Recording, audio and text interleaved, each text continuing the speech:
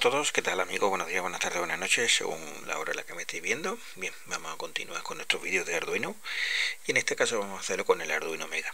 Como estáis viendo vamos a conectar el Arduino Mega y le vamos a poner un display de cuatro dígitos y para mostrar valores decimales y lo vamos a utilizar, vamos a hacerlo utilizando únicamente dos pines.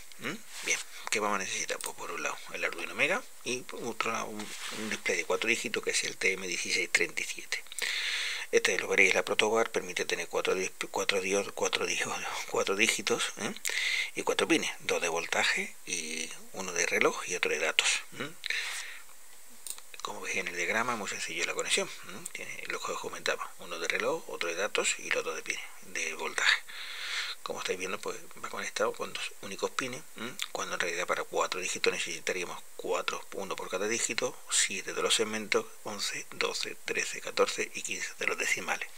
En vez de utilizar 15 pines pues solamente usamos dos vale venga pues bueno a la protoba y lo vemos en la práctica bueno amigos, aquí tenéis el código, el código, el prototipo montado. Veis muy simple, no tiene mucha historia.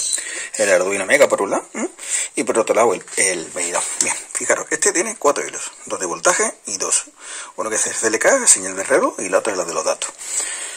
Con esta ventaja que tenemos, podemos utilizar cuatro dígitos con dos pines. Si lo usáramos de normal necesitaríamos 7 para cada uno de los segmentos y 4 más para cada, para cada uno de los dígitos. Es decir, con cual queremos. necesitaríamos 11 pines para manejar esto y eso usando multiplicación. Que tenemos que estar saltando de uno a otro y aprovechando las señales de reloj, la velocidad y demás para que el ojo no se diera cuenta.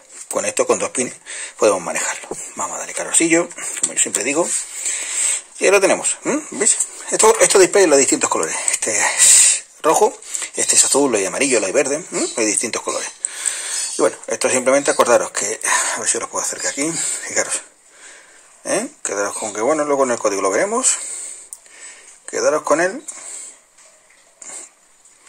veis, esa es la librería que tenéis que utilizar, el TM1637H, Esto, este, este circuito se llama así, este display se llama así, ¿de acuerdo?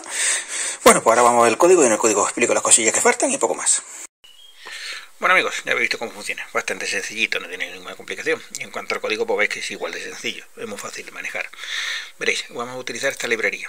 Si no la tenéis en el Arduino a través de la misma biblioteca, de aquí, lo podéis bajar directamente del proyecto. ¿vale? Os dejo la página web de esta página, es una página con muchísimas librerías del Arduino, es un referente.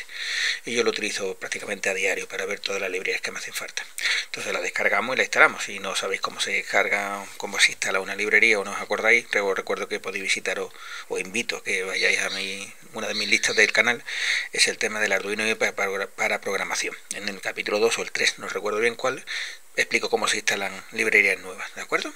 Bien, ¿qué hacemos? Pues bueno, pues declaramos los dos pines que vamos a utilizar, el reloj y el de datos, ¿de acuerdo? declaramos el objeto, creamos el objeto y a partir de aquí manejamos todo el objeto con este nombre. Yo pongo display 4 y aquí inicio el brillo que quiero que tenga. ¿eh? Pues tiene distintas tonalidades de brillo, con más o menos brillo el display. Y aquí lo que le digo es qué número quiero que me enseñe. Esto va sin puntos. ¿eh? Si queremos utilizar los puntos tendríamos que utilizar la función showNumberDeckX. Pero en este caso no lo vamos a utilizar después de este voy a hacer otro vídeo sobre 8, dígitos y luego haré otro sobre un reloj y manejaremos el X para el tema del punto, como que parpadea, como hacer los relojes por cada segundo que pasa. ¿Vale? Pero bueno, en este caso no es. Bien, como habéis visto, muy sencillo. Si tenéis cualquier pega, cualquier complicación o cualquier duda, me la hacéis llegar a través de los vídeos del comentario del vídeo o a continuación os voy a enseñar diferentes formas de poner en contacto conmigo. ¿De acuerdo? Bueno amigos, pues un saludo, que os vaya todo bien. Nos vemos en el siguiente vídeo. Hasta ahora. Pues bueno amigos, espero que os haya gustado el vídeo. Si es así, como siempre os pido, darle al like, al dedito para arriba, mm, para que yo sepa que voy bien orientado hacia las cosas que más o menos tienen interés para vosotros. También os pido que bueno que si queréis estar informados y demás, pues le deis a la campanita y así el sistema de, YouTube pues os avisará cada vez que subo un vídeo. Como ya sabéis, intento subir uno todos los días o si tengo más tiempo subo un cuanto más, ¿vale? Sí, suscribiros al canal, ¿vale?